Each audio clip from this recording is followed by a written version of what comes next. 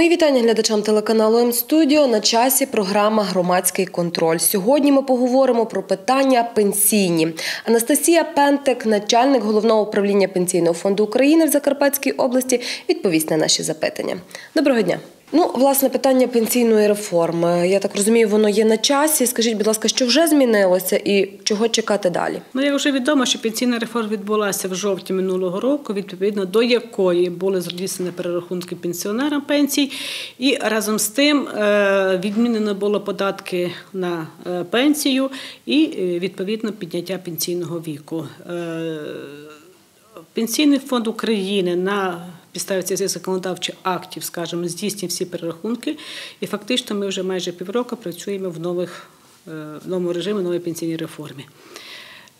Що вона за собою тягне? Ну, в першу чергу, я би так сказала, це основний страховий стаж, де люди повинні офіційно працювати, мати заробітну плату, отримувати відповідну пенсію, зарплату, щоб мати потім право на пенсію. Розміри пенсії, соціальних виплат, хто і на що має право?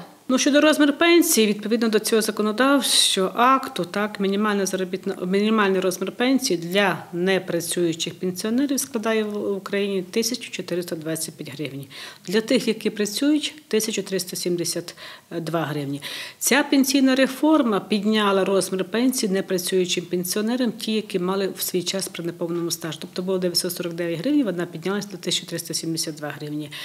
Е, на жаль, на сьогоднішній ще немає індексації пенсії. Пенсія не індексується, але вона передбачена цим законом, яка буде починатися індексація починається десь в 19-20-х роках. Розмір пенсії пенсії залежить основне е, два основні складові: це страховий стаж і заробітна плата.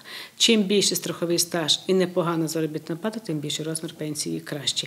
Якщо, на жаль, нема заробітної плати, вона є мінімальна, хоч стаж і великий, але її е, як такого відчуття немає. Вона може бути навіть в розмірі мінімальному.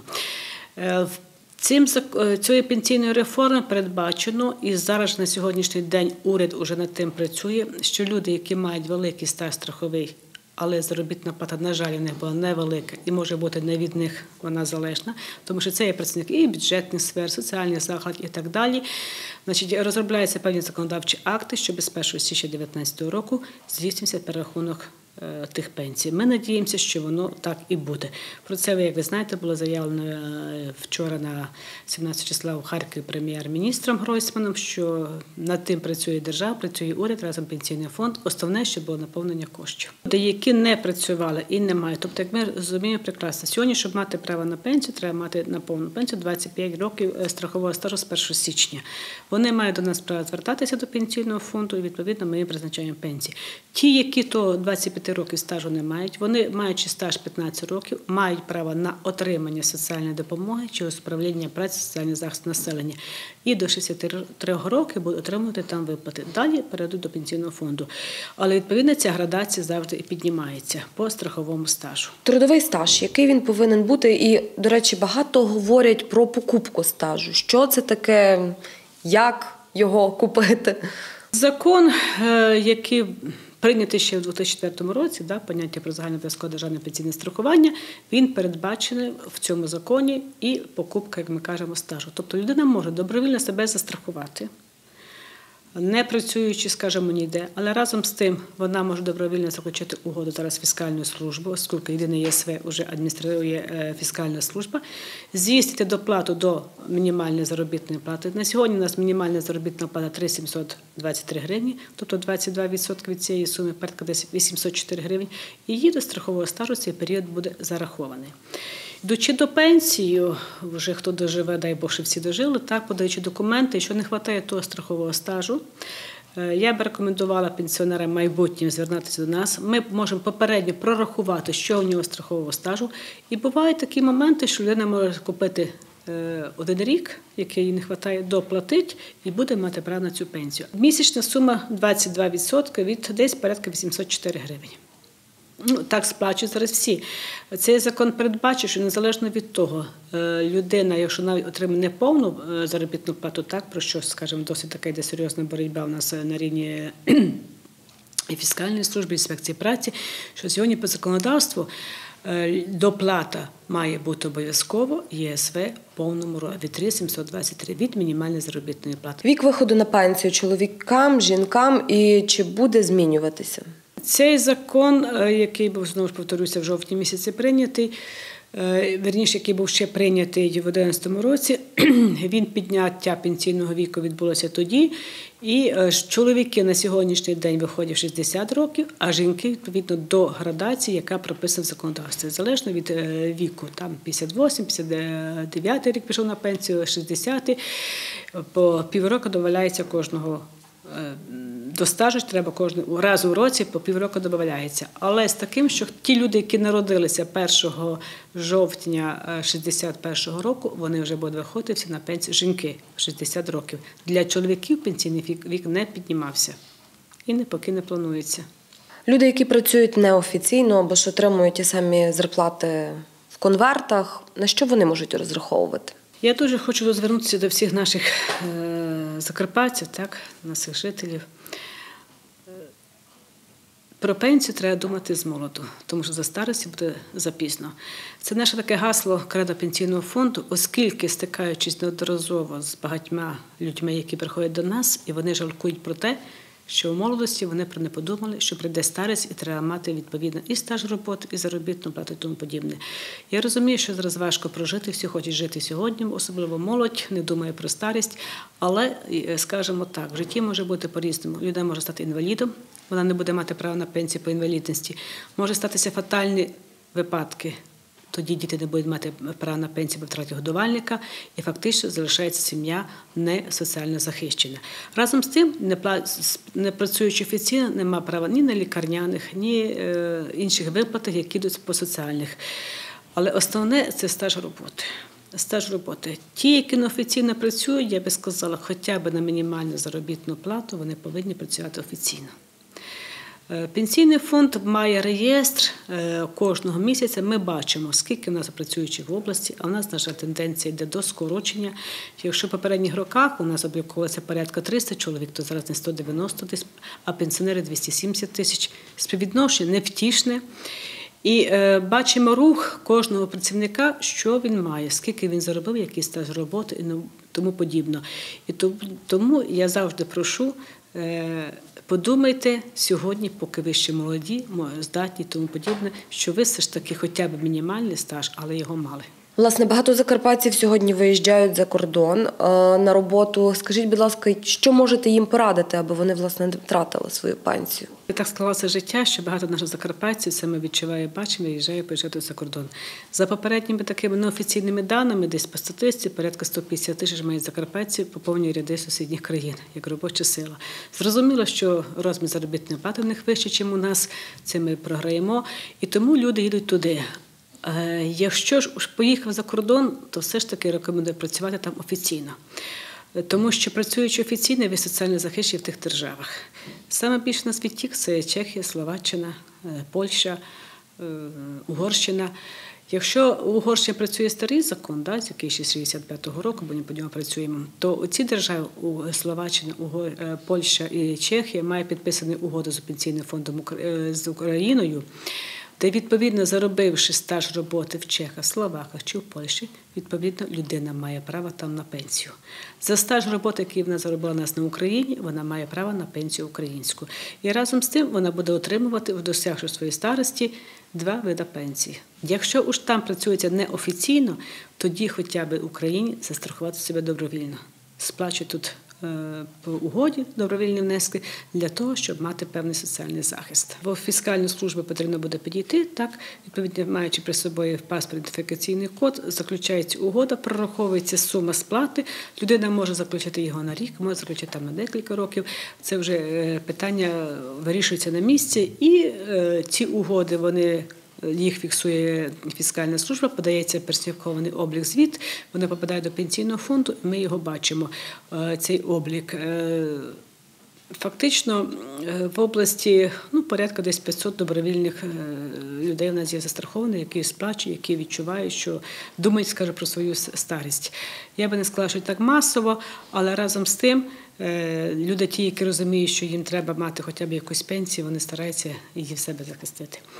Я ще б хотіла звернутися до е, фізичних осіб підприємців.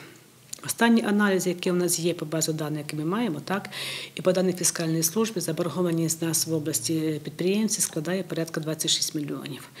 Е, Їх у нас біля 8 тисяч, тільки на єдиній системі податкування і тому подібне. Е, Я дуже прошу підприємців звернутися в фіскальну службу, так і так само допоможемо до пенсійного фонду про наших веб-порталах, про продивитися, що це за суми борги, при можливості їх сплатити, тому що це ваша майбутня пенсія. Навчання у вишах, догляд за дитиною чи враховується у трудовий стаж? До січня 4 року ми зараховуємо повністю. Починаючи з 4 року, коли вже пішло поняття не трудового, а страхового стажу. А що таке страховий стаж? Це сплата обов'язкова. Значить, всі студенти, які навчаються на стаціонарних формах навчання, вони повинні за себе добровільно сплачувати страхові внески. Е, Щодо дітей по догляду до трьох років, так. Е, Відповідно, по- всіма змінами це зарахування, здається, з 13-го року уже соціальне страхування, відділ страху за цих матерів сплачує е, внесок до пенсійного фонду до трьох років, і це їм до періоду, е, цей період стажу роботи зараховується. Фактично, законодавство на сьогоднішній день всі працюючі в Україні є платниками ЄСВ. Тобто навіть ті, які є вільнонайомні е, органи силових структур, і так, якщо вони раніше не були платниками, то зараз цими змінами реформ вони всі нами платниками. Тобто вони всі сплачують ЄСВ, і на них ну, відповідно роботодавець сплачує. І відрахування в нас обліковується на е, наших карточках. Кожна людина може звернутися на веб-портал пенсійного фонду, маючи електронний ключ, або підійти в пенсійний фонд. Вона буде бачити повністю розкладку по своїй заробітній платі, по стажу роботи, починаючи з липня 2000 року. Попередньо ви говорили щодо відміни оподаткування пенсії. Чи відчули це закарпатські пенсіонери? Податок, який був да, до і військовий збір, який був відмінений, фактично в нас в області е, не така велика кількість була тих пенсіонерів, тому що податкувалися ті суми, де е, е, розмір пенсії складав майже понад 5 тисяч. Так? Е, Розмір пенсії на Закарпатській області не такий великий, і наші пенсіонери не мали високих розмірів пенсії. Фактично, е, просто їм повернулася ця сума, яку ми плат- платимо 100 військовому розмірі. Е, Прості закарпатці їх навіть не відчули, тому що я ж кажу, це те, якщо розмір було 7 тисяч, 8, 9, 10 тисяч і так далі. Ми тільки е, податково 15% понад зверх. Зараз це знято.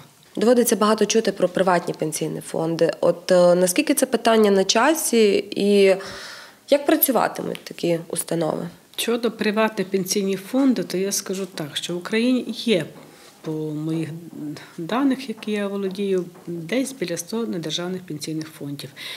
Ну, я би сказала, що чисельність пенсіонерів, або не, не пенсіонерів, а чисельність людей, які є платниками е, недержавних пенсійних фондів, які застрахували, не така вже велика. Чому? Тому що прекрасно розуміє, це економічна ситуація, фінансовий стан людини. Закон знову ж вернувся в жовтні місяці, який значить прописує знову про накопичувальну систему, та, яка має бути на рівні державному.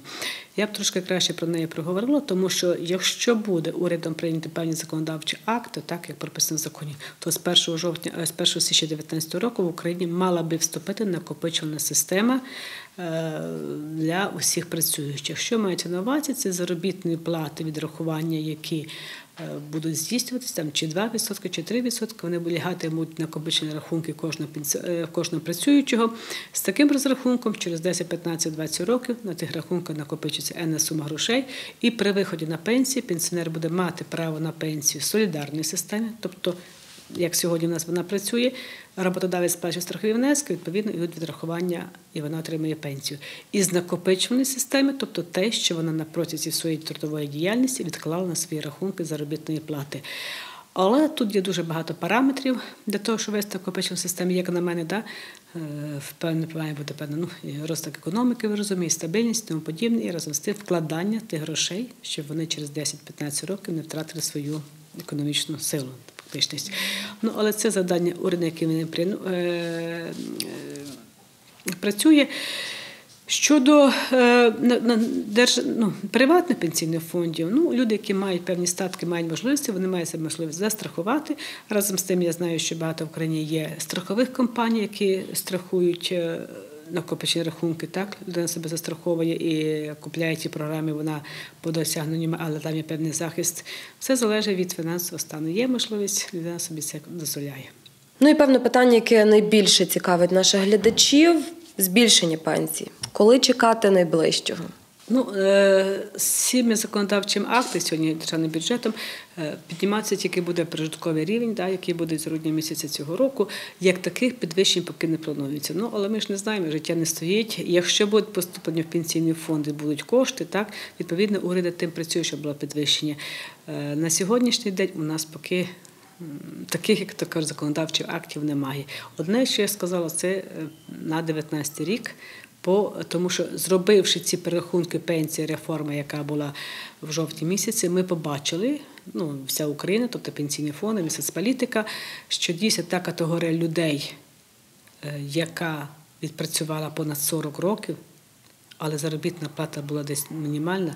Ну, скажімо, наприклад, 120 карбований свій час, та? чи тисячу людей не мала, там, чи е, санітарки, чи інші працівники соціальні, чи вчитель дуже тому подібне. Невеликі зарплати від неї залежні. І в неї розмір пенсії не відчула вона великого підвищення. Тобто тут треба оцінювати стаж роботи і піднімати коефіцієнт за стаж, щоб люди дійсно мали стимул працювати довше, відповідно знаючи, що Е, Ще скажу таке новшество, що у квітні місяці в нас автоматичним режимі перший раз в Україні проведений перерахунок пенсій пенсіонери, які працювали два роки і більше. Так?